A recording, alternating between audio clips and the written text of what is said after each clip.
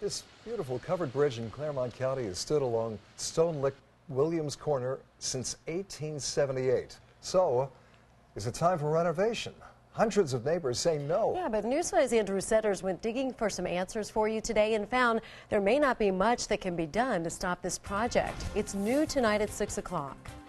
This covered bridge is the last covered bridge in Clermont County. It's been closed for more than two years because it suffered heavy damage, and there is quite a debate going about how best to preserve this piece of history. This bridge is more than 130 years old, and a plan that would add a modern support structure to it is not gaining many fans. This is a, a, a, grand old lady that is, is symbolic of Clermont County. The Clermont County Commissioners heard complaints today about plans to re engineer the bridge. Under the plan, a new structure would be built inside it to carry the weight of the cars, and the outside would be restored to look similar to how it does now. But bridge supporters have their own idea. A true historic restoration of the bridge, and um, not the taking it apart and, and replacing the siding, the roof, the floor.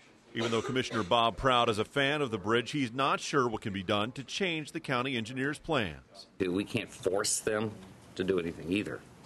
You know, they're not under us. They're a separate elected official. We can't force them, but we can we can talk to them. This bridge, with such a rich history, now has a clouded future.